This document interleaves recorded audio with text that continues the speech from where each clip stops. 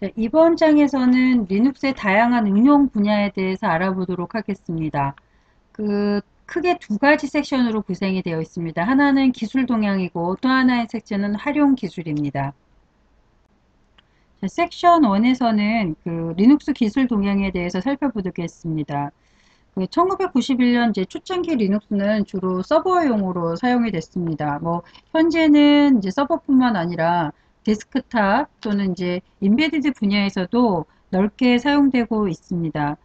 어, 서버 분야에서는 이제 유닉스 시장을 대체할 수 있는 강력한 운영체제로 대두가 되었고, embedded 분야에서는 이제 스마트나 스마트폰이나 이제 태블릿 PC 등 모바일 쪽이나 가정기기 등의 리눅스가 내장이 돼서 운영이 되고 있습니다.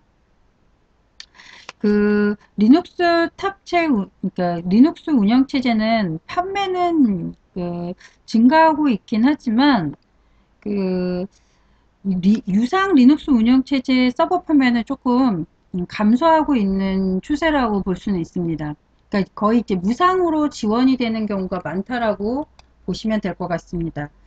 그리고 리눅스는 그 POSIX나 인터넷 프로토콜 표준을 따르고 있기 때문에 특히 포직스를 사용함으로써 그 유닉스하, 그러니까 리눅스에서 사용했던 모듈이 그대로 유닉스에도 사용할 수가 있습니다. 그래서 어, 이것이 그 어, 리눅스의 강점이라고 볼 수도 있을 것 같습니다.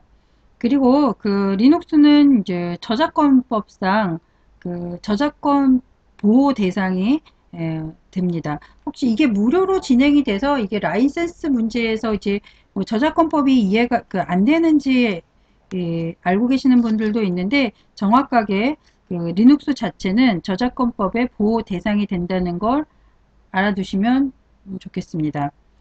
자, 어, 리눅스 관련 기술에 대해서 살펴보겠습니다. 그 대표적인 기술은 clustering입니다. 이 리눅스는 이 clustering 기능을 지원해 주는데요. 즉, 그 clustering이라고 하는 게 뭐냐면 어, 여러 개의 흩어져 있는 시스템을 음, 거대한 하나의 시스템처럼 어, 실행시킬 수 있게 하는 기술입니다. 즉, 그 흩어져 있는 시스템을 어, 하나의 시스템처럼 어, 쓸수 있게 하는 기술을 보통 저희가 clustering이라고 합니다. 이 clustering이 되려면 아무래도 이제 컴퓨터들이 흩어져 있기 때문에 네트워크 기반으로 동작을 하게 된다고 보시면 될 것 같고 이 클러스터의 구성 요소는 클러스터 노드와 클러스터 관리자가 있습니다. 실질적인 업무를 처리하는 음, 호스트 컴퓨터들을 저희가 클러스터 노드라고 얘기를 하고 클러스터 관리자는 그 노드에 대한 자원 분배 및 관리를 할 수 있는 기능을 관리 기능을 가진 것을 클러스터 관리자라고 얘기를 합니다. 이 클러스터를 구축하는 목적은 어, 고성능 컴퓨터, 그러니까 저희가 보통 그거 HPC라고 얘기를 하는데 고성능 컴퓨터를 구축하는 것이 그 주 목적이고 실제 그 여러 시스템이 흩어져서 작업을 하기 때문에 load balancing이 예, 되어야 한다라는 조건이 있습니다. 클러스터 종류로는 고계산용 클러스터가 있고 부하 분산 클러스터 그리고 고가용성 그 클러스터가 있습니다. 어, 고계산용 클러스터는 보통 이제 과학 계산용으로 이제 사용되기 사용되는 클러스터를 말합니다. 간혹 이제 Beowulf 클러스터라고도 얘기하는데 이제 과학 계산용이나 뭐 기, 그 기상 예측 이러한 그 빠른 고성능의 계산 능력이 필요한 어, 환경에서는 고계산용 클러스터를 구성해서 작업을 할 수가 있습니다. 어, 부하 분산 클러스터인데 이것은 이제 load balancer가 필요합니다. 그 load balancer라고 하는 건 뭐냐면 그 부하 분산을 음, 그러니까 특정 한 컴퓨터 한 노드에 트래픽이 이렇게 몰리게 되는 걸 막기 위해서 시스템을 균형 있게 예, 그 돌리는 것을 저희가 load balancing이라고 얘기를 합니다. 그래서 어, 부하 분산 클러스터를 구성해 놓게 되면은 어, 대규모 서비스를 만약 재원 제공해주는 목적으로 시스템을 구축했다면 활용 가치가 높다라고 볼 수가 있습니다. 마지막 클러스터로는 그 고가용성 클러스터가 있습니다. 저희가 이제 가용성이라고 얘기를 하는 건 지속성이라고 얘기합니다. 늘 서비스를 어, 끊이지 않고 지원할 수 있는 환경을 보통 고가용성이 높다라고 얘기를 하는데 고가용성 클러스터 같은 경우는 그러니까 지속적인 서비스를 제공해 줘야 되는 뭐 금융권이나 데이터 센터나 뭐 회사 내 기간 업무를 담당하는 곳에서는 이 고가용성 클러스터를 구성해서 어, 작업을 하게 됩니다. 어, 고가용성 클러스터 같은 경우는 뭐 앞에서 말씀드렸던 부하 분산 클러스터에서 사용하는 load balance 시스템을 이용을 하게 하, 해야만 그 아무래도 이제 과부하가 트래픽 과부하를 몰리는 것을 어, 막을 수가 있습니다.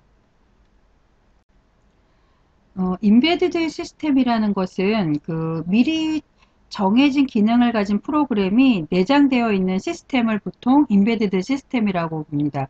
예를 들어 저희가 소프트웨어와 하드웨어가 분리되어서 생각을 보통 하는데 그 하드웨어를 시스템 자체에서 처음부터 소프트웨어가 내장이 돼서 한 몸처럼 음, 출시된 제품들을 보통 저희가 인베디드 시스템이라고 얘기를 합니다. 어, 이것은 메모리나 입출력 장치와 하드웨어를 제어하는 소프트웨어가 조합이 돼서 특정한 목적을 수행하기 위한 어, 시스템이라고 이해하시면 될 것 같습니다. 그래서 이 embedded 시스템 자체는 그 소프트웨어와 하드웨어를 포함하는 그냥 좀그 범위가 넓은 응용 시스템이라고 이해하시면 될 것 같습니다. 보통 embedded 시스템은 뭐 모바일이나 모바일 단말기 같은 경우나 아니면 지리정보 시스템, 의료정보 단말, 정보기기, 뭐 게임기기 이러한 시스템이 보통 embedded 시스템으로 구성되어 있다라고 보시면 됩니다. 그 embedded 시스템을 구성하는 요소로는 그 하드웨어하고 소프트웨어로 일단은 구분할 수가 있습니다.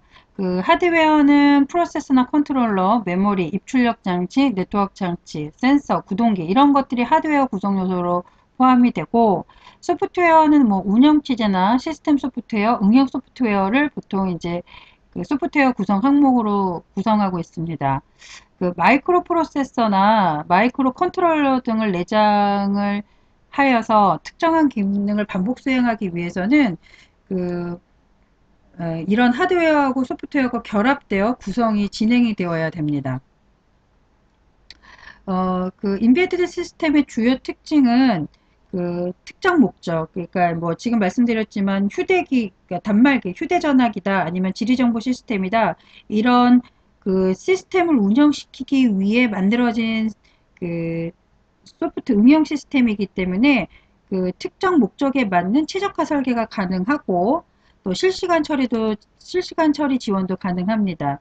또한 이제 높은 신뢰성도 보장하고 또는 그 소형, 경량, 저전력을 지원한다는 특징을 가지고 있습니다.